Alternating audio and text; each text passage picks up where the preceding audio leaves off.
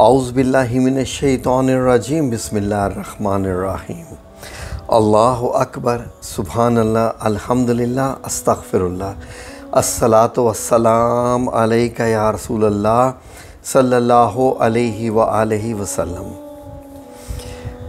नाजरीन आज चाँद रात है और मैं बहुत सोच रहा था कि अपने नाजरीन के लिए आज कौन सी वीडियो बनाऊँ, किस चीज़ के बारे में बनाऊँ। तो टॉपिक तो हज़ारों हैं, लाखों हैं। मेरे रब करीम के इतने टॉपिक हैं, इतनी बातें हैं कि सात समुंदर भी स्याही बन जाएँ, दुनिया के सारे दरख्त भी कलम बन जाएँ तो रब करीम की बातें ख़त्म नहीं होती हैं। ऐसी बातें होती हैं। तो मैंने सोचा कि आज आपके साथ कुछ अपनी पर्सनल ज़िंदगी के बारे में शेयर किया जाए, कुछ बताया जाए अपने बचपन के बारे में, अपनी लाइफ के बारे में, ताकि आप लोग जान सकें कि जिस बंदे को आप सुनते हैं तो उसका कोई बैकग्राउंड क्या है? कैसा है? पास्ट कैसा गुज़रा? माजी कैसा? हाल कैसा? मुस्तकबिल तो पता मुस्तकबिल तो पता नहीं कितना रह गया है। लेकिन चलें अलहमदिल्ला जितना भी रब करीम ने लिखा हुआ है। तो आज मैंने सोचा कि आपके साथ कुछ शेयर किए जाए, कुछ ख़ास अपने ज़िंदगी के मोमेंट्स जो आज तक शायद हाँ, मेरी वाइफ को भी नहीं पता होंगे। तो नाजरीन को पता हो क्योंकि आप वो बातें मेरी सुनते हैं उन पे यकीन करते हैं अमल करते हैं तो इसलिए। नाजरीन मामला ऐसा है कि मेरी ज़िंदगी बचपन की आम बच्चों की तरह नहीं थी क्योंकि मेरी ज़िंदगी में बचपन ही में कुछ डिफरेंट ऐसे वाक़ात हो गए थे मेरे बुज़ुर्गों के जिसकी वजह से है कि मेरी ज़िंदगी में वो चहक महक वो खुशियाँ वो उछल कूद, इस तरह की कोई भी ऐसी चीज़ नहीं रही थी। नाजरीन, मुझे याद है जब मैं तकरीबन पाँच छः साल का था तो मेरे वालद मोहतरम बैरून मुल्क काम करते थे और बैरून मुल्क से मुराद वो ईरान में काम करते थे। उन दिनों सऊदी अरेबिया वगैरह जो है वहाँ पर नहीं होते थे। ये तेल वगैरह जो है ना, ये सेवेंटी सत्तर की दिहाई में जाके डिस्कवर हुआ तो इन मुल्कों ने तरक्की की, वरना यहाँ पर कोई काम के लिए नहीं जाता था। सऊदी अरेबिया का मतलब सिर्फ़ हज उम्र होता था, ये प्रदेश नहीं था, ना यहाँ पर लोग काम करते थे। तो हम अपने वालद मोहतरम के पास गए, तकरीबन ये 72 73 की बात है, यानी 1973 की बात है। जब मैं तीन चार साल का हूँगा तकरीबन, वहाँ पर हम डेढ़ दो साल रहे आलमोस्ट तो वहाँ से मैं आया तो फिर यहाँ पर एक स्कूल है, वहाँ पर मेरा एडमिशन हो गया बड़ी मुश्किल से। एडमिशन हुआ तो क्योंकि मैं एक पंजाबी घराने से ताल्लुक़ रखता था और वो स्कूल जो था वहाँ पर उर्दू चलती थी। तो मुझे अभी तक याद है कि मैं इतना शाय हुआ, इतना मुझे अजीब लगा कि इस स्कूल का तो बड़ा स्टैंडर्ड है और मैं तो ये सारी चीज़ें नहीं जानता हूँ। गो कि मैं ईरान रह के आया था, लेकिन वो हम में बात नहीं थी कि जो बाहर में, क्योंकि वहाँ मैंने स्कूल में एडमिशन तो लिया नहीं था। तो वहाँ के भी एक दो काफ़ी ऐसे वाक़ात हैं नाजरीन के, जो बड़े अजीब हुए। मुझे अभी तक याद है कि हम जब रहते थे तो दोपहर को अबू आते थे। हमारी टेलरिंग की शॉप थी, मेरे अबू टेलरिंग का काम करते थे। और मुझे उस पर फ़ख्र है कि मेरे अबू जो है, वो ज़ाहिर है कि हमें जो है, वो हलाल की रोज़ी कमा के देते थे। जो उनको हुनर आता था, वही उन्होंने करना शुरू कर दिया। तो और कोई काम नहीं उनको मिला था तो वो टेलरिंग का काम शुरू कर दिया था उन्होंने। तो साथ शॉप थी इसी किस्म की, उनके पास में जाता था। तो रोज़ाना मुझे, वो मुझे याद है कि जैसे पाकिस्तान की करेंसी एक रुपया होती है ना, वहाँ की करेंसी एक तुमन होती है जो मुझे दिया करते थे। तो मेरा जो था ना, वो बॉक्स जिसको आप कहते हैं बैंक बॉक्स आप उसका कोई भी नाम दे दें तो वहाँ पर मनी सेव करने के लिए मैं उसमें एक एक तुमन डालता था। मेरी अम्मी कहती थी, जब ये बहुत सारे पैसे हो जाएँगे तो हम फिर तुम्हारे लिए अच्छे खिलौने लेके देंगे। तो मैंने कहा, ये क्या है? एक एक रुपया, एक एक रुपया रोज़ाना, इससे क्या बनता है?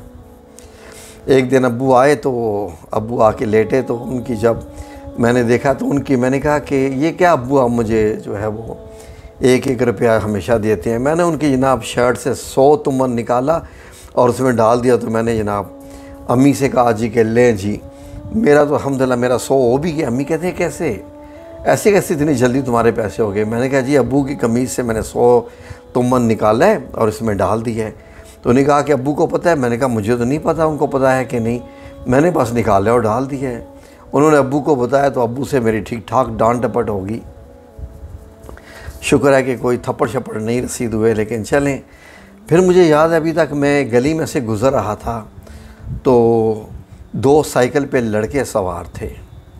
तो वो गुज़र रहे थे तो मैं गिरा ठोकर लगी और जब मैं गिरा तो वो साइकिल सवार दोनों लड़के बैठे हुए मेरे पेट के ऊपर से उनका साइकिल गुज़र गया और मेरी एज चार से पाँच साल। मेरी बड़ी बहन मेरे साथ थी, जो मुझसे दो साल ही बड़ी थी। हम अबू की शॉप पे जा रहे थे, जो कि करीब ही थी। बस एक रोड क्रॉस होती थी। तो उन्होंने तो उनको बुरा भला कहना शुरू कर दिया और वो भाग गए कि ये ना हो कि कहीं ये बच्चा मर गया या क्या हो गया या कैसे। तो मुझे अलहमदिल्ला मैं खड़ा हो गया तो मेरी बहन देखने लग पड़ी कि तुम्हारे पेट के ऊपर से तो साइकिल गुजर गई और दो लड़के बड़े बैठे हुए थे उस पर तो ये कैसा हुआ? मैंने कहा, मुझे तो नहीं पता ये क्या हुआ है। इतना है कि बस मेरी शर्ट पे साइकिल के पहियों के निशान थे।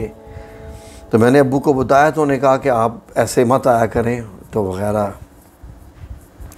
मैं ये बात कर रहा हूँ कि मेरे स्कूल में जब एडमिशन करवाया घर वालों ने तो जो टीचर थी तो वो मैं काफ़ी रो रहा था। मैंने कहा कि मुझे मत छोड़ के जाएँ स्कूल में, मैंने नहीं पढ़ना। यहाँ पर मैं किसी को भी नहीं जानता, ये लोग मुझे मारेंगे। तो जो टीचर पास खड़ी थी तो उसने कहा कि शायद आपको कोई नहीं मारेगा। आपको कोई अगर मारे तो आपने सिर्फ़ मुझे बताना है, ठीक है? आपने उसी वक्त मुझे बताना है और मुझे बता देना किसने मारा है। मैंने कहा, टीचर, ठीक है। मुझे बड़ा इतमान हो गया। मुझे अभी तक याद है कि एक लड़का था, उसने जो है वो शरारत से आया, ओए, तुम्हारा नाम क्या है? मैंने कहा, मेरा नाम शाहिद है। कहता अच्छा जनाब, उसने मेरे मुँह पे थप्पड़ मारा और थप्पड़ मार के भाग गया, मैंने रोना शुरू कर दिया। तो इतने में वो टीचर आ गई। अब मैं क्लास में भी आया हूँ तो रो रहा हूँ तो वो टीचर कहती है, क्या हुआ है? मैंने कहा, टीचर, आपने कहा था ना, मुझे बताओ। वो जो लड़का सामने बैठा हुआ है ना उसने मुझे थप्पड़ मारा और वो नस गया है। जब मैंने ये लफ्ज़, नस का इस्तेमाल किया ना, नस गया है तो पूरी क्लास हंसने लग पड़ी। मैंने और ज़ोर जो है वो ज़ारो कतार रोना शुरू कर दिया। टीचर कहती है, हंसो मत इस पर आप इसको जो है वो हंसोगे तो ये और रोएगा। मैंने कहा, क्या हुआ है? कहती है अच्छा वो आपको थप्पड़ मार के नस गया मैंने कहा, बड़ी तेज़ी से नस के गया है। तो मेरा मज़ाक उड़ाया गया खूब, लेकिन चलें। अल्लाह का करना ऐसा हुआ कि नाजरीन पहली क्लास में हमदुल्ला मैं फ़र्स्ट, सेकंड क्लास में मैं फ़र्स्ट, थर्ड क्लास में मैं फ़र्स्ट, फिफ्थ। अब सिक्स क्लास में जब था तो मेरे अबू आए ईरान से तो उनको बहुत शदीद तकलीफ़ थी, वो बीमार हो गए नाजरीन। तो उनको तकलीफ़ इतनी ज़्यादा हो गई थी कि उनकी, रीढ़ की हड्डी पे मसला हो गया था अच्छा भला मसला हो गया था। तो उनके कुछ ऑपरेशन वगैरह हुए तो वो घर पे ही थे। तो इतने में क्या हुआ कि वो तकरीबन तीन चार माह घर पे रहे और फिर कहते हैं कि मैं जा रहा हूँ ईरान वापस और वहाँ जाके मैं शाप बेच के आ जाऊँगा ताकि मैं घर पे जो है वो यहीं कुछ काम हो सके। शाप बेचने गए थे, वहीं पर उनको हार्ट अटैक हुआ, वहीं फौत हो गए और उनकी डेड बॉडी को लेके आना था तो ईरान इराक की जंग शुरू होगी, नहीं ला सके। तमाम एयरपोर्ट्स वगैरह, तमाम कम्युनिकेशन का निज़ाम जो है वो बंद हो गया। तो ये वही ईरान इराक की जंग थी जो 20 अगस्त 1980 में शुरू हुई थी। उस वक्त मेरे अबू फौत हुए थे तो उनकी डेड बॉडी भी नहीं आ सकी। तो वो ऐसा हमारे घर में इतनी ट्रेजिडी थी, इतनी परेशानी थी कि मुझे कोई पढ़ा भी नहीं सका। तो जब हुआ क्या कि रिज़ल्ट की बारी आई तो स्कूल वालों ने मैसेज भेजा कि आप लोग आए नहीं हैं, आप लोग तो हमेशा हार लेके आते हैं। तो मेरी बड़ी बहन थी तो उन्होंने कहा कि इस बार क्या हार लेके आएँगे? हमने तो इसको कुछ पढ़ाया ही नहीं है। तो उन्होंने कहा कि पढ़ाया है या नहीं, ये फिर फ़र्स्ट है। तो इसको हार पहना होता है, वो घर भी आपने घर से लेके आना होता है। तो मैं सोच रहा था, क्या पहन के जाऊँ वहाँ पर? तो मैं स्कूल के कपड़े ही पहन के चला गया। तो टीचर कहती है कि आज तो स्कूल के कपड़े नहीं पहन के आने थे। तो मैंने टीचर से कहा, टीचर, मेरे पास यही अच्छे कपड़े हैं जो मेरे पास हैं तो मैं इसलिए स्कूल के कपड़े पहन के आया हूँ। एक वो वक्त था कि ईरान में मेरे अबू थे और मैं रंग बिरंगे कपड़े पहनता था। तो उसके बाद ऐसा हुआ तो मैंने कहा चलें कोई बात नहीं। तो नाजरीन, मुझे घर वालों ने एक मस्जिद में डाला कि इसमें ये कुरान पाक सीखे, पढ़ना सीखे। तो मौलवी साहब माशाल्लाह बड़ी आँखें दिखाते थे तो उनसे मैं काफ़ी डरता था।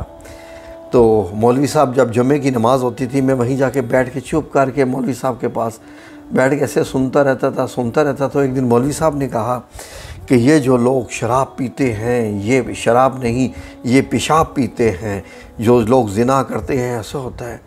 मैंने कहा, ये तो दोनों बड़ी बुरी चीज़ें हैं।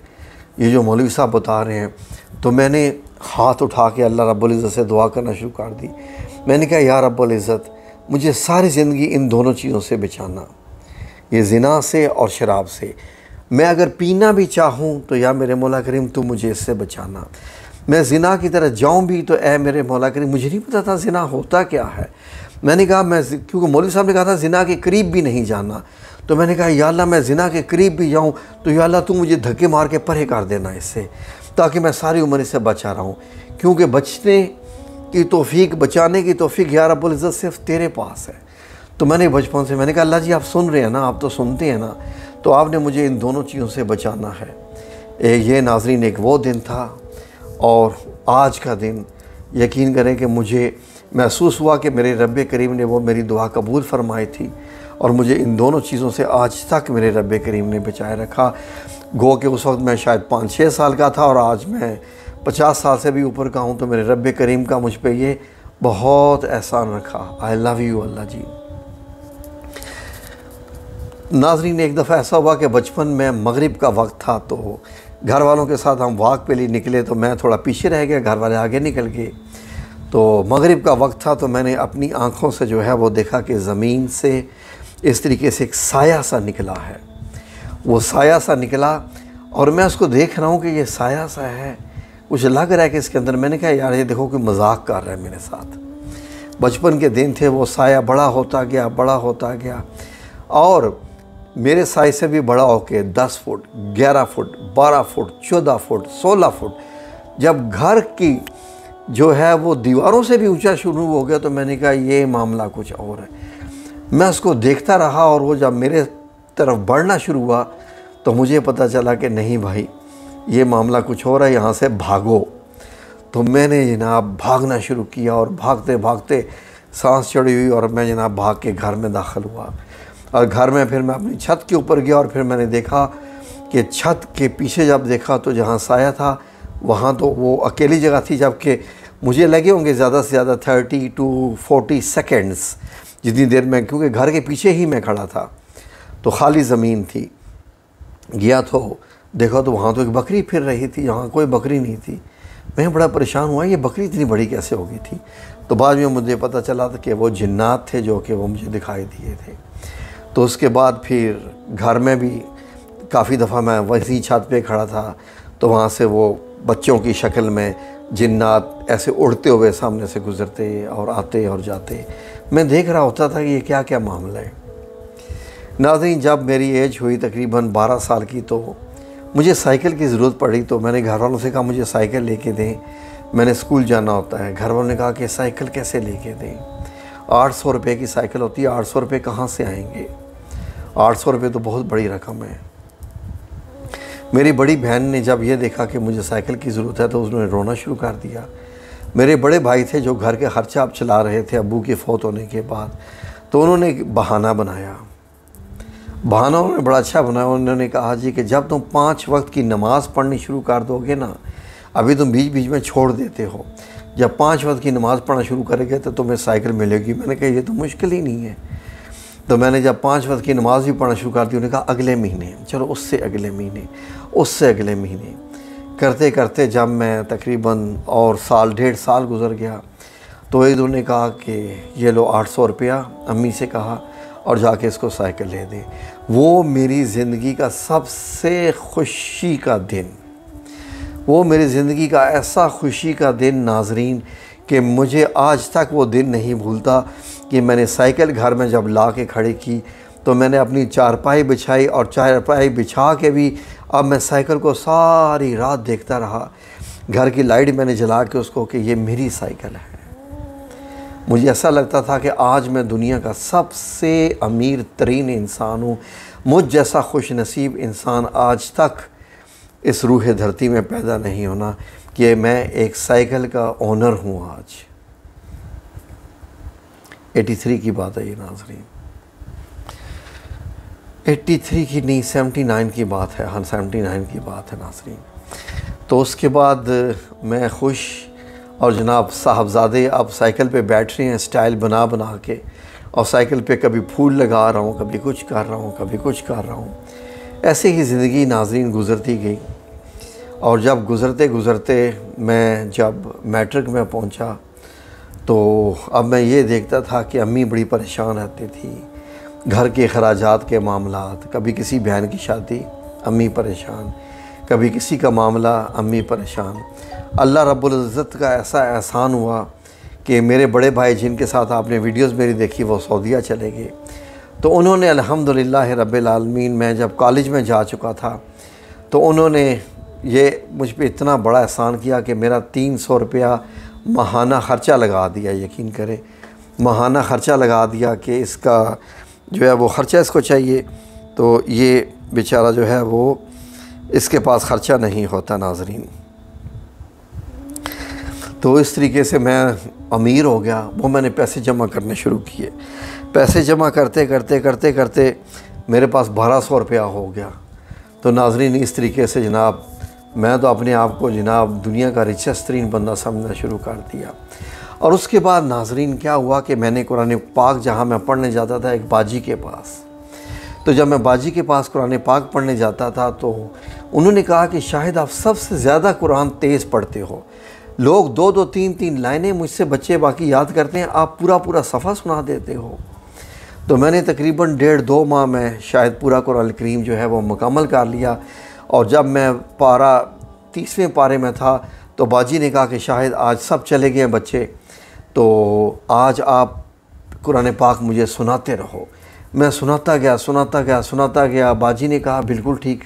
तो उन्होंने कहा, चलो जी, मुबारक हो, आज तुमने कुरान पाक जो है वो मुकम्मल पढ़ लिया है। तो कल मिठाई लेके आना। तो नाजरीन, उसके बाद मैंने जब कुरान पाक को तर्जमे से पढ़ना शुरू किया, उसके बाद मेरी शादी हुई। सऊदी अरेबिया गया। वाक़ात आपने सुने ही हैं नाजरीन। और उसके बाद जब पहली डेथ हुई हमारे, मेरी होश में जब मेरे वालद मोहतरम जब फोत हुए तो उस वक्त उन्नीस सौ अस्सी में मैं सिक्स क्लास में था। तो ज़िंदगी की बहारें तो नाजरीन उसी वक्त ही चली गई थी सारी की सारी। क्योंकि हर एक चीज़ के लिए जब तरसना शुरू हो गया था ना तो वहाँ पर ये सारी ज़िंदगी की बहारें चली गई थी कि हमें तो जो भी है, वो सह सह कर ही मिलता है। कुछ भी ऐसा खुला हाथ नहीं, और हमेशा हर वक्त अम्मी की ज़ुबान पे एक ही लफ्ज़ होता था कि तुम यतीम बच्चे हो, तुम्हें बहुत आइडियल बनना है, तुम्हारी ज़िंदगी में जदोजहद है बड़ी, और तुम जो है, वो इतना ज़्यादा सीरियस नहीं लेते हो लाइफ को। बस नाजरीन, इस तरीके से चलते गए चलते गए मामला और जब 1997 में मेरी शादी हुई और साथ ही दो महीने शादी रह के तकरीबन मैं सऊदी में था तो उसके बाद जब डिवोर्स हुई तो समझ लीजिए कि मैं उस वक्त ऐसा टूटा ऐसा टूटा कि समझ लें कि मुझे ऐसे लग गया कि ज़िंदगी की जो नाकामी है ना, इतनी बड़ी नाकामी ज़िंदगी में होना। यकीन करें कि खलास आपके पास कोई ख्वाहिशात नहीं हैं कि जो आपकी मर्ज़ी से पूरी हो सकें। अल्लाह रब्बुल इज़्ज़त की ज़ात होती है जो कि आपको खुश रखे या आपको गमगीन रखे। उसके बाद मैंने कुरान पाक पढ़ना शुरू कर दिया तर्जमे के साथ। और जूँ जूँ मैं पढ़ता गया तो मुझे पता चला कि ज़िंदगी में वाकई ज़िंदगी नाम की कोई चीज़ नहीं है। इसलिए ये सिर्फ़ और सिर्फ़ प्रिपरेशन है, ये तैयारी है मौत के बाद की सफ़र की। और साथ ही फिर 98 में मेरे बहनोई की भी डेथ होगी, मेरी बहन बेवा होगी, उनके तीन बच्चे और वहाँ पर यकीन करें कि ज़िंदगी की वो खुशियाँ भी जाती रहीं। सारी की सारी, उसके बाद सिर्फ़ और सिर्फ़, सिर्फ़ और सिर्फ़ बस चुप चाप खामोशी और हर वक्त ये सोचते रहना, क्या है ये ज़िंदगी? उस वक्त से लेके आज तक मेरे जहन में यही चलता रहा, क्या है ज़िंदगी? मुझे याद पड़ता है कि सूरह अहज़ाब में पता चला मुझे कि जब नबी करीम सल्लल्लाहु अलैहि वसल्लम पे सूरह अहज़ाब नाजल हुई तो आपने मुस्कुराना छोड़ दिया था, क्योंकि नाजरीन, ज़िंदगी की हकीकत इंतहाई तलख है। और उसके बाद बड़े बड़े ऐसे मकाम आए, वगैरह वगैरह। उसके बाद जद्दा में भी था तो मेरे साथ काफ़ी दफ़ा मुझे महसूस होता था कि मेरे साथ कोई शख्सियत है, जो कि मेरे साथ सोती है, मेरे साथ उठती है। और मुझे महसूस होता था कि कुछ है, कुछ चल रहा है कमरे में। कई दफ़ा जैसे ही मैं बेड पे जाता था तो साथ ही मेरे जो है वो जिस मैट्रेस पे मैं लेटता था, साथ ही वो मैट्रेस भी बैठ जाता था। तो मुझे पता था पता चल जाता था कि मेरे साथ कोई शख्सियत है जो इस वक्त भी मेरे साथ रह रही है। वही मैं बता रहा हूँ नाजीन कि खुशियाँ नाम की चीज़ वहाँ पर ये सारी की सारी चली गई थी। लेकिन उसके बाद 99 में जब दोबारा मेरी शादी हुई फ़रा के साथ तो अल्लाह रब्बुल इज़्ज़त ने बच्चों से भी नवाजना शुरू कर दिया। एक, दो, तीन, चार, पाँच लेकिन उसके बाद मेरे बस दिन में यही चलता था कि ये ज़िंदगी गुजारने के बहाने हैं, ये खुशियाँ नहीं हैं। मुझसे बहादुर एक चिंटी है कि जिसको अगर मैं छत से भी फेंक दूँ, छत से भी फेंक दूँ तो ये मरेगी नहीं, कुछ भी नहीं होगा।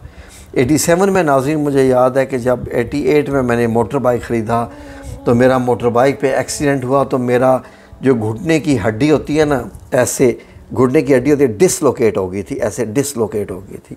मसल इंजर्ड हो गए थे लिगामेंट्स तो जो मेरे, फिर मेरी चीखें निकलती तीन महीने में बेड पे रहा। और तीन महीने में लोग आके मुझे जो ताने देते थे ना, मैं अभी उस वक्त 20 साल का भी नहीं था।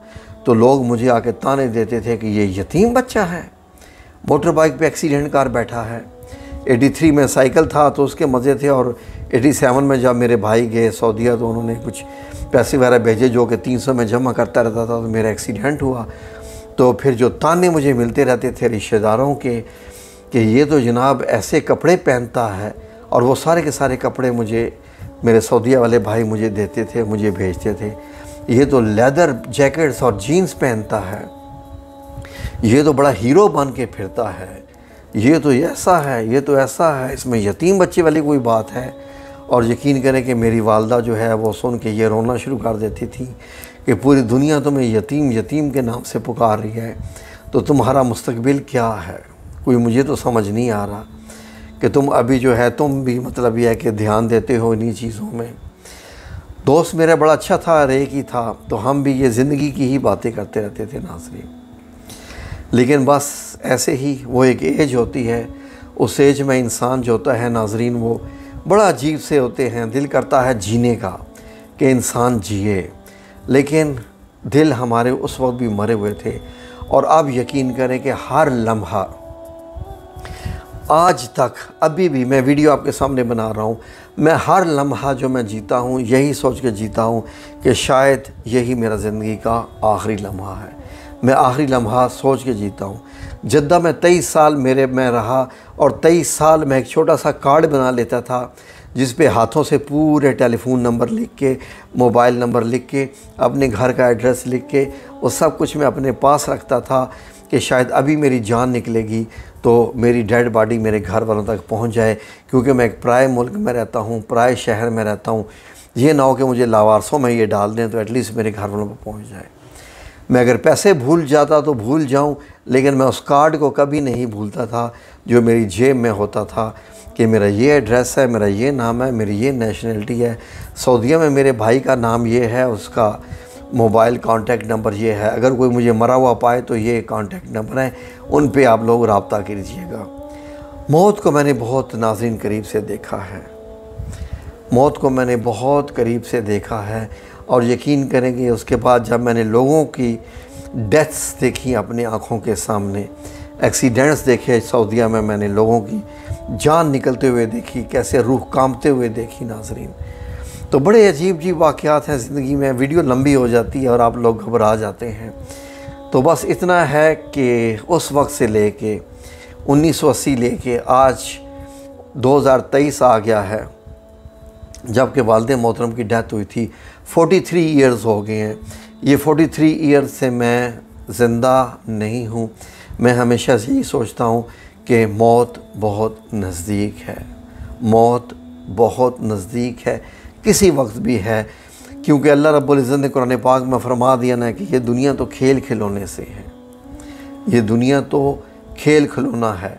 इसको जो है वो अपनी ज़िंदगी में समझो। ज़िंदगी आखरत की ज़िंदगी है, वो हमेशा रहने वाली है। तो बस, मैं इसी हालत में ही रहता हूँ, इसी हालत की वजह से मैं अल्हम्दुलिल्लाह रब्बिल आलमीन बाज़ दफ़ा 2002 की बात है कि मैं डिप्रेशन का शिकार हो गया था, क्योंकि मैंने मौत को इतना ज़्यादा सोचा था कि मौत इतनी करीब है। मैं जब यकीन करें कि कभी मोबाइल पे अगर मैं देख रहा हूँ और मोबाइल पे अगर कोई इस तरीके से कुछ, कोई ऐसे सामने जब कोई सीन्स आ जाएँ, मूवीज़ के, गानों के, या कुछ ना कुछ मैं डरने लग पड़ता हूँ कि ये ना हो कि ये मामला मेरे लिए गलत साबित हो जाएँ और मैं तो इनके बारे में कुछ कह भी नहीं सकूँगा। आप लोगों का बहुत वक्त लिया।